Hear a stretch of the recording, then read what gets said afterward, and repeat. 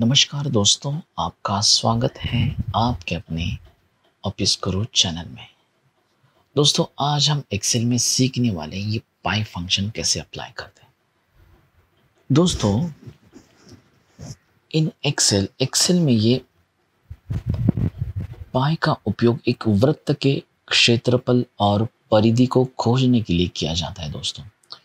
लेकिन पाई का उपयोग, जैसे कि building and construction cotton quantum भौतिकी कम्युनिकेशन मतलब संचार संगीत सिद्धांत चिकित्सा प्रक्रिया हवाई यात्रा और अंतरिक्ष उड़ान के लिए जो भी कैलकुलेशन होते हैं दोस्तों उसमें ये पाई फ़ंक्शन यूज़ करते हैं दोस्तों एक्सेल में पाई फ़ंक्शन गणितीय निरंतर पाई लौटाता है पुनरावृत्ति करने के लिए पाई एक वृत्त की परिधि और उसके व्यास का अनुपात है calculating the area of office office का एरिया भी दोस्तों पाई, जैसे कि एरिया ऑफ़ सर्कल में इसे यूज़ करते हैं दोस्तों। चलिए हम ट्राई करते हैं दोस्तों, देखते ये पाई फ़ंक्शन है क्या दोस्तों। इस फ़ंक्शन में दोस्तों एक, इसमें आर्ग्यूमेंट्स नहीं है दोस्तों। सिंपली इसका सेंटेक्स है is equal to P I open bracket और क्लोज ब्रैकेट इसके अंदर कोई भी आर्ग्यूमेंट्स नहीं है दोस्तों। जैसे आप ये फ़ंक्शन को अप्लाई करेंगे, आपको आंसर मिलेगा ये वाला दोस्तों। देखिए, मैं यहाँ पे अप्लाई करता हूँ is equal to P I open bracket and close bracket बस इसे एंटर कीजिए। तो दोस्तों, ये जो आंसर है three point one four one five nine two six five four ये इसका डिफ़ॉल्ट एक आंसर है दोस्तों, और ये करेक्ट आंसर आता है पाई की वैल्यू है दोस्तों। जैसे कि पाई की वैल्यू हमें मालूम है थ्री पॉइंट फोर्टीन लेकिन एक्सेल देखो दोस्तों पॉइंट के बाद कम से कम 15 डिजिट एक्सेल ने दिए दोस्तों। ये देखिए, अब यहाँ से कैलकुलेट करेंगे तो कम से कम 15 डिजिट है दोस्तों। ये सर्कल है दोस्तों, ये सर्कल का डायमीटर है और ये है रेडियस ठीक है दोस्तों? अब इसी तरीके से हम एरिया ऑफ़ सर्कल को काउंट करेंगे। एरिया ऑफ़ सर्कल का फ़ंक्शन क्या है दोस्तों? A is equal to pi R square चलिए दोस्तों, हम इसे स्टार्ट करते हैं। और एक छोटी सी बात दोस्तों, अभी तक आपने आपके चैनल को सब्सक्राइब नहीं किया है दोस्तों तो प्लीज़ एक बार सब्सक्राइब कर दीजिए। बहुत बहुत धन्यवाद दोस्तों। दोस्तों, मेरे पास यहाँ पे देखिए रेडियस सेंटीमीटर में मैंने लिखे हुए zero one two three four five ऐसे टेन रेडियस मैंने सेंटीमीटर में लिखे हुए दोस्तों। अभी हमें डायमीटर चाहिए तो क्या करना पड़ेगा दोस्तों? देखिए, बहुत ही सिंपल है दोस्तों। मैं क्या करता हूँ, देखिए ये रेडियस का डबल है, ये डायमीटर दोस्तों। तो टू इंटू ज़ीरो ये रेडियस को कर दीजिए और एंटर मारिए। सॉरी दोस्तों, यहाँ पे मैंने ब्रैकेट ओपन किया है ना। तो मैं से ब्रैकेट को निकाल देता हूँ और एंटर देखिए दोस्तों। ये आया इस सर्कल का डायमीटर दोस्तों। और पाई की वैल्यू ये बहुत ही सिंपल है दोस्तों। ये कैसे कैलकुलेट हुई देखिए। आपको यहाँ पे करना is equal to P I open bracket और क्लोज ब्रैकेट, एंटर। देखिए दोस्तों, बस इसे आप डबल क्लिक कर दीजिए। यहाँ पे आ गई पाई की वैल्यू यहाँ पे मैंने डेसिमल पॉइंट्स दोस्तों कम कर दिए यहाँ पे जाके। यहाँ से आप डेसिमल इंक्रीज और डेसिमल डिक्रीज भी कर सकते दोस्तों।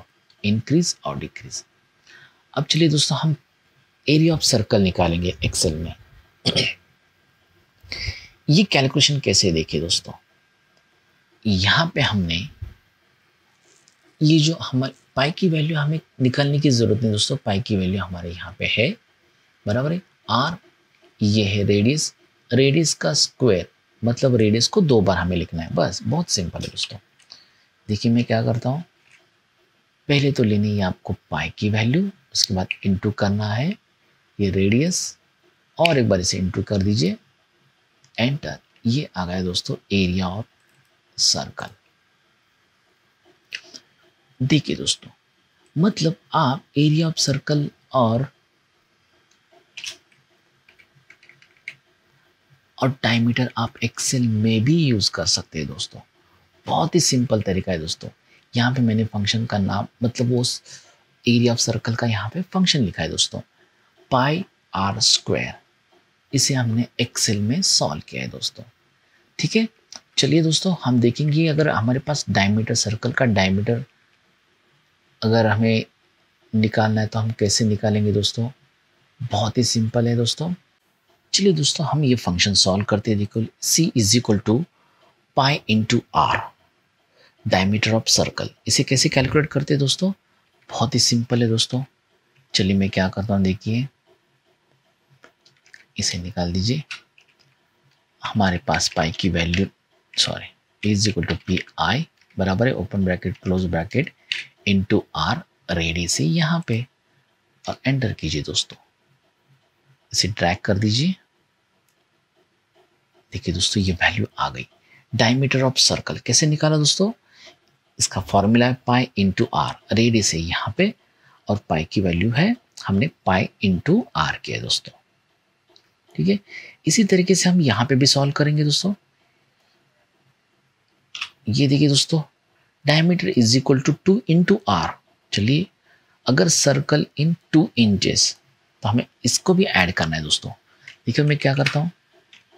Two inches into R radius है यहाँ पे। एंटर कर दीजिए। इसे आप कंट्रोल डी कर दीजिए। देखिए दोस्तों टू इंच का सर्कल है तो दोस्तों डायमीटर हम इसे इजीली एक्सेल में सॉल्व कर सकते हैं।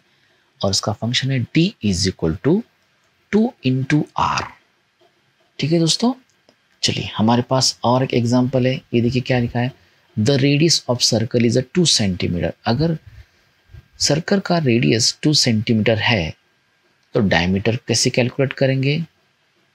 और सर्कल को कैसे कैलकुलेट करेंगे? उसके मैंने यहाँ पे फ़ंक्शंस लिखे दोस्तों।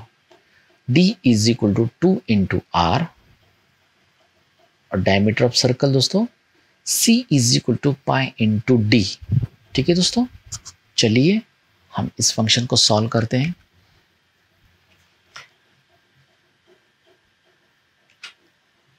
ये है हमारा रेडियस इनटू करना है आपको टू कंट्रोल डी कर दीजिए। देखिए दोस्तों, उसके बाद यहाँ पे आपको करना है डायमीटर ऑफ़ सर्कल। वो कैसे कैलकुलेट करते हैं दोस्तों? पाया C is equal to pi into D. चलिए, यहाँ पे हम जाएँगे, P I, open bracket, close bracket into D. Diameter है हमारे यहाँ पे। इस ब्रैकेट को एंटर कर दीजिए डायरेक्ट और इसे ड्रैग कर दीजिए। नीचे की तरफ़। देखिए दोस्तों, इसने इस डायमीटर के थ्रू उसने निकाला है दोस्तों ये। ठीक है दोस्तों, और लास्ट में देखिए दोस्तों व्हाट इज़ डायमीटर क्या है? अगर हमारे पास है, उसका फ़ंक्शन है दोस्तों सरकमफ्रेंस का फ़ंक्शन है पाई इंटू डी अगर उसका क्षेत्रफल है दोस्तों 15.7 चलिए, हम यहाँ पे जाएँगे और यहाँ पे देखिए, क्षेत्रफल कैसे निकालेंगे व्हाट इज़ डायमीटर इसका? पहले पाई की वैल्यू चलिए, यहाँ पे P I open bracket close bracket into diameter diameter कहाँ पे दोस्तों? यहाँ पे यहाँ पे। ठीक है दोस्तों, देखिए, एक बार वापस। इसके लिए दोस्तों, आपको, देखिए, हमें दिया है सी सी हमारे पास है 15.7 और पाई इंटू डी मतलब ये कैसे होगा कैलकुलेशन देखिए दोस्तों। जो अपना ये है दोस्तों डायमीटर डिवाइडेड बाय पाई क्योंकि हमारे पास 15.17 वैल्यू है। तो कैसे निकालेंगे? By pi open bracket close bracket देखिए दोस्तों। तो इस तरीके से आप सर्कल का क्षेत्रफल डायमीटर रेडियस आप इसके कैलकुलेट कर सकते एरिया ऑफ़ सर्कल कैलकुलेट कर सकते पाई की वैल्यू आप फाइंड आउट कर सकते हैं दोस्तों। अगर रेडियस चेंज हुआ है तो उसकी कैलकुलेशन कैसे रहेंगे? अंदर के डायमीटर मतलब हर एक प्रकार का यहाँ पे आप पाई फ़ंक्शन के साथ फ़ंक्शन यूज़ कर सकते हैं। ठीक है दोस्तों, ये था पाई फ़ंक्शन दोस्तों। आप इसे यूज़ कर सकते हैं आपके डेटा के ऊपर दोस्तों। और दोस्तों सब्सक्राइब करना मत भूलिए। और आपने ये सेशन सुना है मेरा, इसलिए बहुत बहुत बहुत शुक्रिया दोस्तों। लाइक और कमेंट करना मत भूलिए दोस्तों। धन्यवाद।